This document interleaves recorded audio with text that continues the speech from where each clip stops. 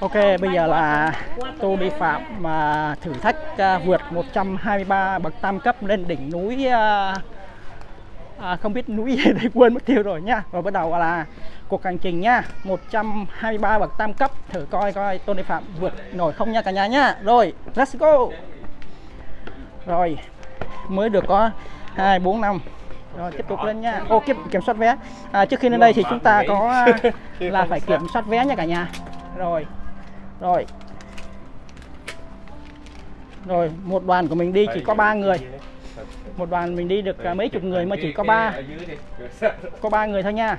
Rồi có ba người là đi bộ. Ba người là lính.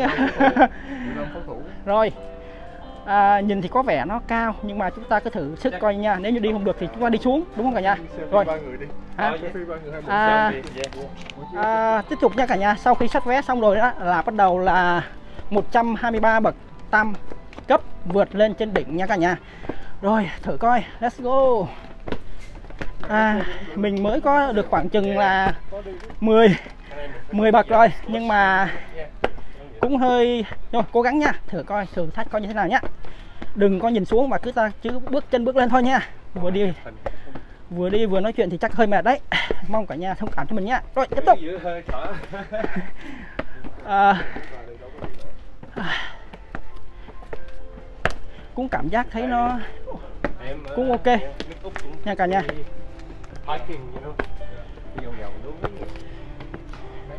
Thật sự à, khi bước như thế này đó có rất nhiều người. Được chưa? Gần tới rồi rồi được bao nhiêu bước rồi? Rồi chúng ta nhìn đằng sau thử coi nha. nãy giờ sẽ anh à không biết được bao nhiêu đây. Rồi một số người cũng đã bắt đầu lên rồi nha cả nhà. Rồi chắc cũng được khoảng chừng à, mới được 1 phần ba thôi. Tiếp tục. Một hai ba bốn. À. không cũng gần tới nơi rồi. À. mới đầu thì cũng à, tưởng đâu là hơi cao. Ô tới nơi rồi nè. Ô. Finally thì uh, cũng đã tới nơi rồi. À chúng ta thử coi chỗ này nha. Rất là đẹp luôn á. Wow. À, hình như đây có bao nhiêu? Hai ba bốn năm sáu bảy tám chín. Chín chín con rồng. Đúng không? Quá đẹp luôn cả nhà ơi.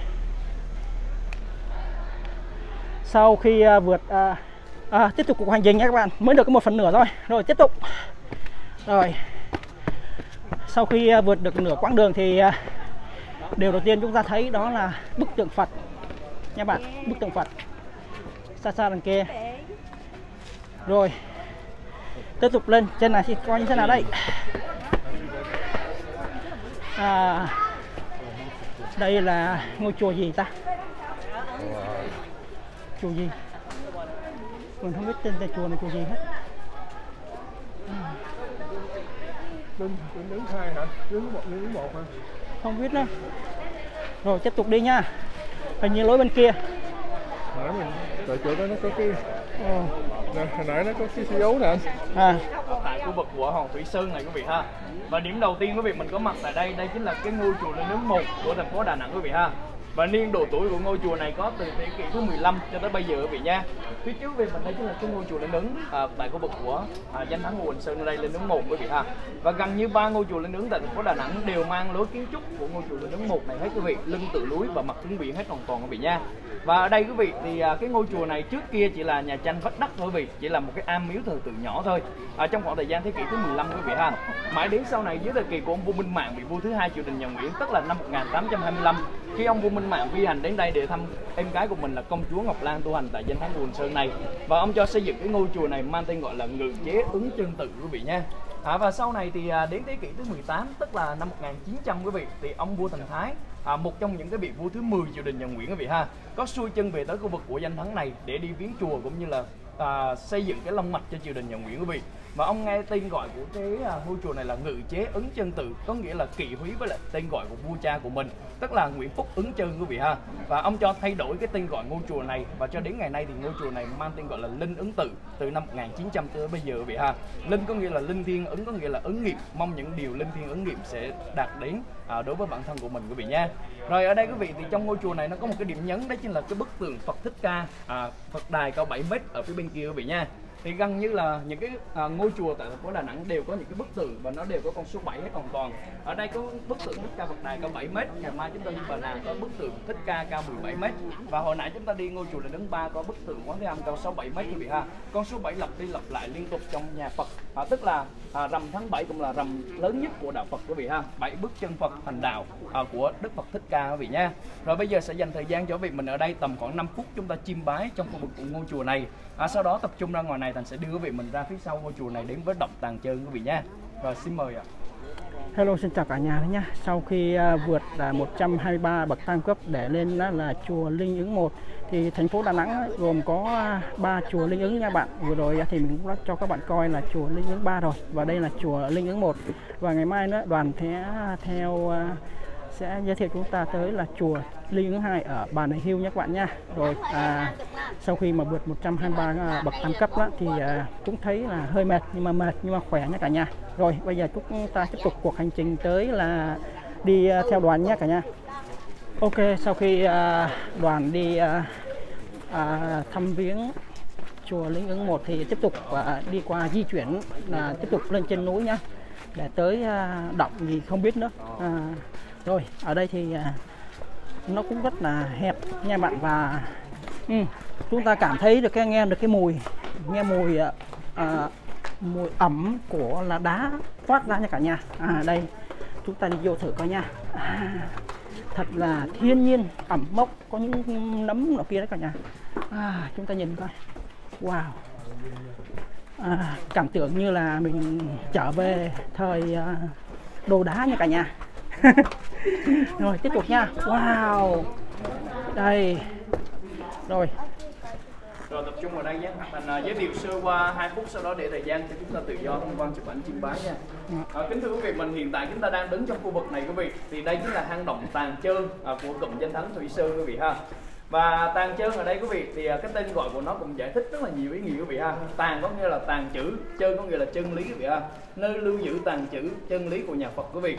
À, những cái điều cầu ước của chúng ta tại khu vực của chùa Linh đứng phía trước quý vị ha người ta sẽ đưa vào trong này để lưu giữ lại những cái điều cầu ước của chúng ta quý vị nha. Và trong khu vực của hang động Tàn Trơn này quý vị thì trước kia là một cái hang động kín hoàn toàn quý vị ha trải qua thời gian và năm tháng của chiến tranh quý vị thì mưa bom bạo đạn nó rải xuống khu vực này nên cái trần hang động được mở ra quý vị nha. Và trước kia thì trong khoảng thế kỷ thứ 17 cho tới thế kỷ thứ 19 quý vị thì thương cảng Hội An là một trong những cái thương cảng sầm uất nhất của à, Đông Nam Á chúng ta à, cũng như là điểm dừng chân của con đường tơ lụa trên biển quý vị nha. À, nên những cái thương nhân người Hoa hay là người Nhật người ta đặt chân vào trong thương cảng Hội An chỉ có một cái con đường duy nhất di chuyển thôi. À, đó chính là cái con đường sông Cổ Cò nằm bên cạnh cái danh thắng hồ Hành Sơn này quý vị ha. Và cái khu vực này thì vào mùa hè quý vị thì nước nó nước sông nó rút đi. À, nên những tàu thuyền lớn người ta không thể di chuyển vào sâu bên trong Hội An. Chính vì như vậy thì những cái thương gia người ta phải dừng chân tại những cái cụm này à, để người ta nghỉ chân cũng như là thờ tự ở tại khu vực này quý vị ha. Và ngay trong lòng hang động này quý vị thì à, những cái thương nhân người Hoa cũng như là người Nhật đó người ta đưa những cái vật thờ linh thiêng vào trong này thờ tự trong đó phía trước quý vị mình ha. À, đây chính là hang động thích ca thờ bức tượng Phật thích ca nhập niết bàn à, cũng như là Phật đài thích ca ở đây quý vị ha. Và cái bức tượng đó được nghệ nhân Nguyễn Chất một trong những cái nghệ nhân là đá mỹ nghệ non nước ở nơi đây năm 1960 tạc lên từ ngay trong lòng vách núi tạc ra quý vị ha. Ở bên cạnh đó vì mình quan sát phía trước này quý vị thì đây chính là miếu linh động chân tiên. À, miếu này à, có niên độ tuổi hơn 400 năm tuổi này rồi. À, do chính ông vua Minh Mạng vị vua thứ hai triều đình nhà Nguyễn năm 1825 cho xây dựng cái khu vực của miếu thờ này quý vị ha. À, sau đó thì à, ban đầu là thờ Ngọc Hoàng Thượng Đế nhưng mà bây giờ là dời từ đó lên động linh nham rồi à, và bây giờ trong này là thờ Phật thờ thần à, cũng như là chư Phật ở trong khu vực này quý vị nha nên ai tâm linh thì chúng ta cầu tự tại đây ha. Rồi à, bên cạnh đó sau bên trong này quý vị chúng ta quan sát theo hướng tây của thành sẽ có một cái hang động nhỏ nằm ngay bên cạnh này nữa. Thì nơi đó đã chứng kiến minh chứng rằng thế kỷ thứ hai người Chăm đã từng tồn tại tại vùng đất miền Trung này quý vị ha. Đó chính là hang động Chăm Ba và ngay trong đó thờ bộ thờ Linga và Yoni Phật thờ của người Chăm quý vị nha và phía sau phía bên trong cùng nữa quý vị chúng ta đi vòng ra phía sau ha, sẽ thấy được hang động A Di Đà một trong những cái bức tượng Phật A Di Đà ngay trong lòng vách núi tạc ra không có sự đo đạc nào hết quý vị nha. Do chính nghệ nhân Nguyễn Chất một trong những cái người nghệ nhân làng đá mỹ nghệ này tạo nên quý vị nha. Rồi bây giờ dành thời gian cho vị mình ở đây tầm khoảng là 5 đến 10 phút chiêm bái. À, sau đó tập trung ra thằng sẽ đưa vị mình lên trên đỉnh à, của ngọn này nhé. Ok bây giờ thì à, à, theo lời giới thiệu của à, hướng dẫn viên thì chúng ta vô là hang trăm ba thì hang trăm ba này á, là thuộc à, của những người chăm nha cả nhà. Và đi qua bên này đó là hang A đây là hang trăm ba. Chúng ta thử lên coi có những cái gì nha. Thật sự quá hùng vĩ à, thiên nhiên à, thật sự quá hùng vĩ nha cả nhà. Rồi chúng ta thử coi lên coi hang trăm ba là có cái gì nhá rồi hang trăm ba. Đây là thuộc của những người chăm nha cả nhà. Rồi nên thử coi coi có gì không. À đây thì người ta thờ của những người chăm nha cả nhà. Đó nha cả nhà. Ừm, đó. Rồi. Ồ hình như mình nghe có tiếng rơi nha cả nhà. Rồi hang tối nha hang trăm ba hang tối. Rồi chúng ta qua bên là hang A Di Đà nha cả nhà. Là ngay trong lòng vách núi được tạc ra không có sự đo đạc hay là không có mang vật liệu từ dưới mang lên để làm ha.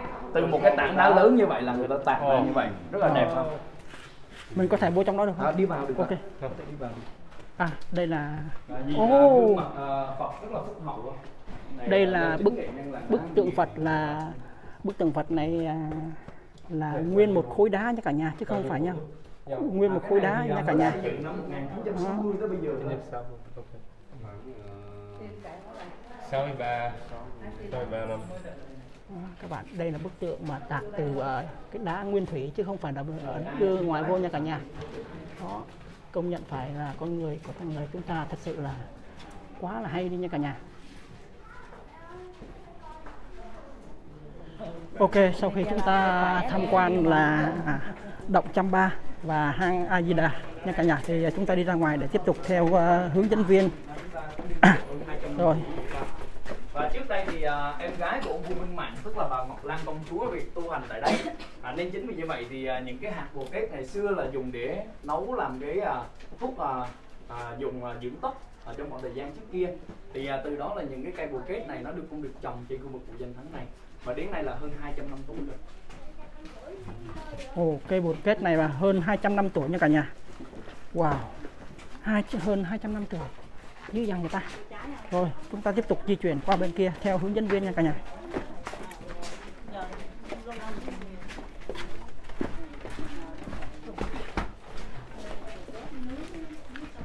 À, bây giờ đi lối ra. Rồi, đi ra ngoài tiếp tục lên lên à, một địa điểm mà khác nha cả nhà nha. Rồi tiếp tục chúng ta di chuyển theo hướng dẫn viên lên trên à, tầng cao hơn nha cả nhà. Rồi. Đây có rất nhiều người à, đi lên đi xuống à, nhưng mà rất là vui. À, có rất nhiều à, những à, người à, cả nước ngoài nữa nha cả nhà. Có những người nước ngoài, người à, Ấn Độ, à, hình như là những người Ấn Độ là càng nhiều nha cả nhà. Đó mình thấy này có một số người đó là quốc tịch Ấn Độ đó nha cả nhà. Rồi bây giờ là đang tiếp tục leo bậc thang. Rồi nếu như ai không leo được thì chúng ta bò. rồi tiếp tục đó à, đây à, bậc à, bậc này thì cũng không cao lắm nhưng mà đấy các bạn thấy là cũng rất là nhiều người đã bước từng bước chân lên nha nhưng mà cảm giác rất là khỏe âm thầm âm thầm bước lên nào lên rồi À, vô tình à, khi lên tới đây thì à, chúng ta bắt gặp uh, một phái đoàn hình như là người Trung Quốc nha cả nhà. À. À, đây là phái đoàn của người chắc là người à, người Trung Quốc nha cả nhà. À, chúng ta thấy đây là à, mình không biết là diễn tả như thế nào nha cả nhà nhưng mà các bạn thấy đây là bức tượng Phật. Và ở đây chúng ta thấy là hình như là không biết nói như thế nào nha cả nhà. Có một là một vị hai vị ba vị. À, bên này thì có hai vị và một à, bức tượng ờ, Phật nằm nha cả nhà. Đó và các hình như là những cú ờ, chú hưu phải hưu không ta? Không biết nha mong cả nhà thông cảm cho mình nha. Rồi rồi tiếp tục à, bước những à, bước à, thang à, lên tiếp tục à, lên trên đỉnh núi nha cả nhà ơi. À, tuy rằng à, là mệt mồ hôi ra nhễ nhãi nhưng mà cảm giác rất là khỏe nha cả nhà. Đã lâu lắm rồi mười mấy năm chưa được leo núi nhưng mà mình cảm giác là rất là khỏe mạnh nha cả nhà rồi. Tuy rằng nó cao nhưng mà rất là khỏe nha cả nhà. Rồi. Rồi dừng chân nghỉ ngơi đây. rồi dừng chân nghỉ ngơi nha cả nhà.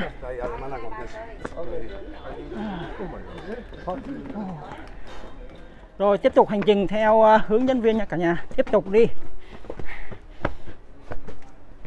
Như gần chiến quả rồi. Rồi cố gắng lên.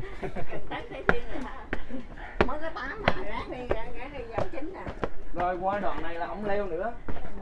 Qua đoạn này là chỉ có đi xuống thôi. Ờ, đi xuống là đi thang máy luôn hay là đi bộ hả? Dạ. U rồi rồi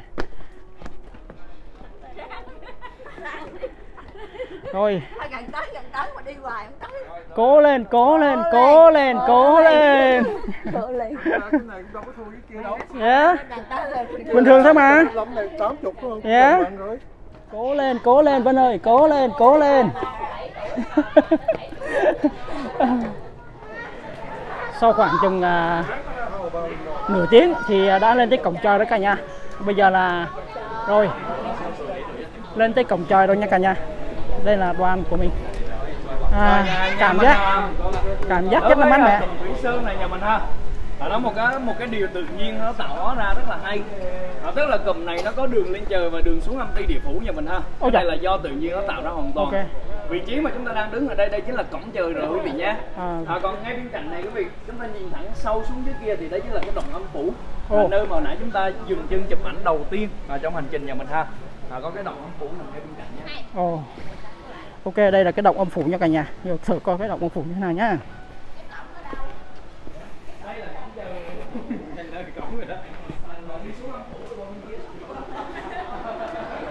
Ồ. Ờ, đây là động âm phủ nha cả nhà. Rồi. À, chúng ta thử coi. Đây là động âm phủ nha cả nhà. À. Rồi à, sau khi tới à, cổng trời rồi thì à, chúng ta tiếp tục đi qua à, động huyền không nha cả nhà. Rồi động huyền không nha. Tiếp tục đi nha. Ở phía bên à, tay phải của chúng ta đã có rất nhiều người người ta bán những vật đồ vật lưu, lưu luyện nha cả nhà. Đó. Nếu cho các bạn nào mà muốn mua thì à, có thể ghé vào đây tùy theo người ta không có để giá. À, nhưng mà không biết là các bạn à, muốn mua thì ghé cho đây mua nha. Đó. Rồi ở đây thì à, ở đây thì à, nước nước khăn nước nước uh, mệt quá. Vừa yeah, vừa đi vừa đi vừa vừa thuyết minh đó nó rất là mệt. Ở đây có bán à, là dừa xiêm nước đá rồi à, à, nước ngọt rất nhiều nha. Các bạn có thể ghé ở đây à, đây nha. Rồi dạ đây giới thiệu cho để mai mốt người ta tới người ta du lịch và người ta mua nha cô. Rồi đây là có cả dừa xiêm nha cả nhà. Rồi tiếp tục di chuyển nha à, mang tiếng là lúc đi lên á, thì chúng ta cảm giác là rất cao 123 bậc à, tăng cấp và có thể đi thang máy nhưng mà sau khi chúng ta đi xuống rồi các cả nhà thì à, nó rất là nói chung á, là theo sườn đồi đó không có dốc giống như là lúc mình đi lên nha cả nhà. Vì à, khi mà lên tên à, ngũ hành sơn này rồi đó thì là phải đi lên và đi xuống nó khác nhau nha cả nhà. Đi lên một lối và đi xuống là một lối nha cả nhà. Rồi chúng ta qua tham quan là động huyền không nha. À, đây là động huyền không. Huyền không cave. Nha bạn động cave. Động huyền không. Rồi. À, nếu như chúng ta mà không biết đó thì chúng ta sẽ đọc là động cave nhưng mà thật sự là động cave. Nha cave chứ không phải là cave nha cả nhà. Rồi à, không biết là hướng dẫn viên của mình đâu mất tiêu rồi. Đâu mất tiêu rồi hết rồi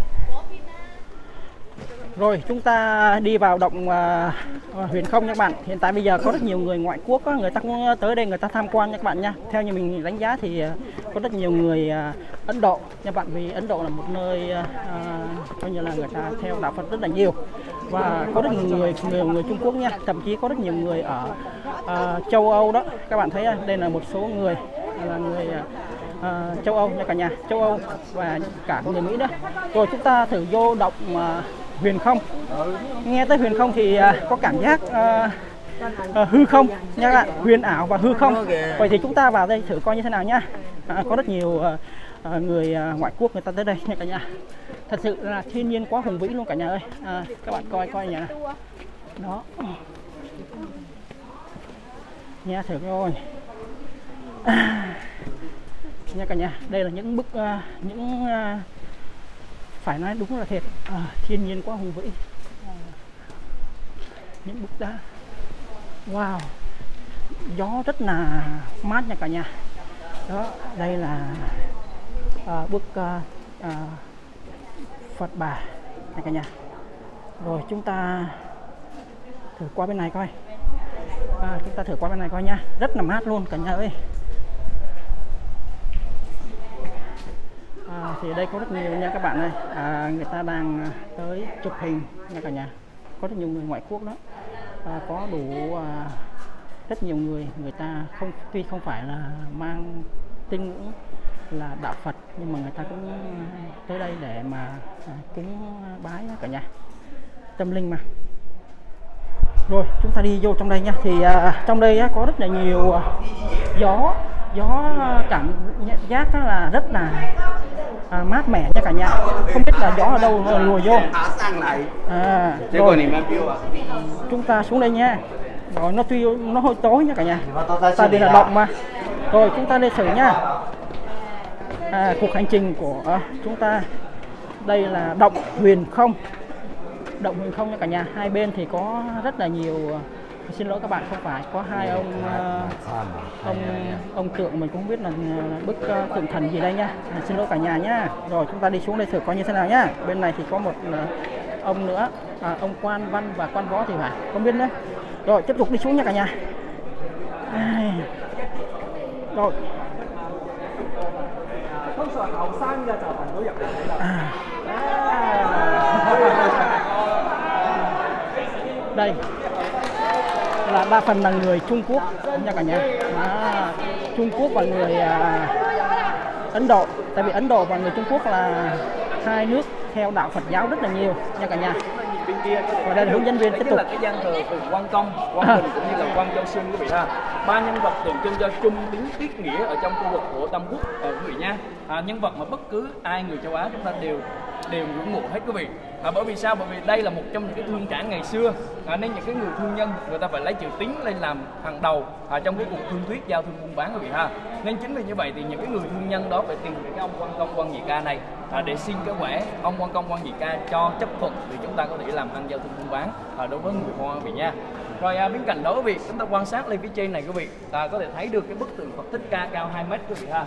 Do chính nghệ nhân Nguyễn Chất tặng đây à, ngay trong lòng vách núi này tặng ra quý vị nha. À, cũng như là bên gian bên kia quý vị thì ai mà làm ăn thì chúng ta có thể dừng chân ở gian bên kia đấy chính là gian hờ và Hồng Phi. À, cầu mong cho cái à, sự làm ăn của chúng ta suôn sẻ quý vị nha.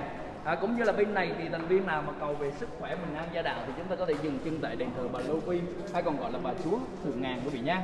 Rồi xin mời đại gia đình chúng ta cũng di chuyển qua bên này. Của dọc nước quý vị nó bào mòn cái núi đá vôi này quý vị ha à, tạo nên những cái phản ứng hóa học nó tạo nên những cái hình thù như thế này mọc từ dưới này mọc lên thì chúng ta gọi là măng đá quý vị ha nhỏ từ trên này nó nhũ xuống gọi là nhũ đá quý vị ha hay còn gọi là thạch nhũ. Và ở đây thì người ta có hai cái nhũ đá tượng trưng cho thạch nhũ tóc quý vị giống như là đôi bầu sữa của người mẹ quý vị ha. Và người ta tương truyền rằng là năm 1900 ông vua Tần Thái có dừng chân tại đây và thấy rằng hai cái bầu sữa này nó nhỏ giọt liên tục như vậy thì vô tình ông chạm vào cái hòn đầu tiên này quý vị ha. À, cho đến ngày nay thì cái hòn đầu tiên này nó tắt nước hoàn toàn không có còn nhỏ giọt nữa. Cái hòn phía trong này thì vẫn còn nhỏ giọt quý vị. À, nhưng mà theo khoa học thì do quá trình là nước nó thẩm thấu vào bên trong này và tiếp đó thì quá trình xúc tác của nước nó nhỏ giọt như vậy thì nó hình thành nên những cái thạch nhũ này. Và bên trong này vẫn còn hoạt động vì ha. Rồi à, phía bên này nhất là gần như là cái địa điểm này thì à, thành à, sau 7 năm làm nghề thành phát hiện được ít người phát hiện được quý vị ha. Ở cái này cũng thạch nhũ núi đá vôi nó tạo hình ra quý vị nha. À, mình nhìn cái khe chính giữa này quý vị à, trong khu vực của chính giữa này ha. À, chúng ta nhìn ra hình gì mà. Ngay chính giữa luôn giống như tượng Phật. Dạ có người nói giống tượng Phật ha. Có người sẽ nhìn ra được hai cái gương mặt. Phía bên này là gương mặt của à, người con gái ha, có cái mái tóc nè. Bên này là gương mặt của người con trai nè, hai cái mũi sắp chạm nhau ha. À, Hai người sắp hôn nhau. Ừ. Đấy, nhìn ngay chính giữa là ra được hai gương mặt sắp hôn nhau. Con lấy giống như chó với con rồi giả cái đỏ này nó tặng rồi ở đây thì à, mình dành thời gian cho việc mình ai chiêm bái hay là chụp ảnh ha? Tầm khoảng à, hai phút thôi. À, sau đó di chuyển. Hai phút được không ạ? Hay là năm phút? Năm phút ha à, à sáu phút. Sau đó là